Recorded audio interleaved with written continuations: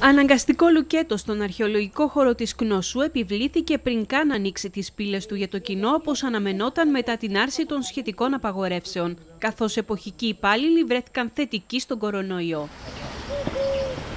Πρόκειται για δύο από τις τέσσερις εργαζόμενες οι οποίες προσελήφθησαν την περασμένη εβδομάδα. Όπως εξηγεί ο αρχιφύλακας του αρχαιολογικού χώρου, την ημέρα που παρουσιάστηκαν για εργασία, η μία από τις υπαλλήλους εμφάνισε πυρετό και δόθηκαν οδηγίες να υποβληθούν και οι τέσσερις σε τεστ. Ευτυχώς με το που προσελήφθησαν πριν 6-7 μέρες, την επόμενη μέρα κατευθείαν η μία παρουσίασε κάποια συμπτώματα. Της είπα κατευθείαν να φύγει να πάει να κάνει τεστ η μία συμπτωματική τελείως, η άλλη με ευτυχώς ε, κάπως ελαφρά συμπτώματα και στα σπίτια τους και οι δύο. Δύο βρέθηκαν θετικές, ενώ και οι άλλες δύο κοπέλες μπήκαν αναγκαστικά σε προληπτική καραντίνα. Από εκείνη τη μέρα και οι τέσσερις κοπέλες που έχουν έρθει σε επαφή κοντινή, ε, πήραμε την απόβαση μαζί με τη διευθύντρια την κυρία Σιφιακάκη να μπουν σε καραντίνα και σε συνεννόηση βέβαια με την πολιτική προστασία ε, για μέχρι τις 27 του μήνα.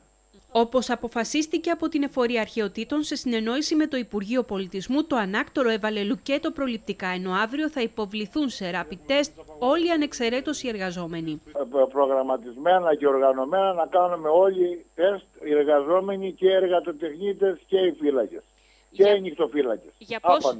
Έχει η υγεία και η δική μας ε, και να προστατεύσουμε και τους επισκέπτες. Το μέτρο θεωρείται επιβεβλημένο για την ασφάλεια τόσο του προσωπικού όσο και των επισκεπτών, καθώς ήδη υπάρχουν δεκάδες τηλεφωνήματα πολιτών που ενδιαφέρονται για την έναρξη των επισκέψεων.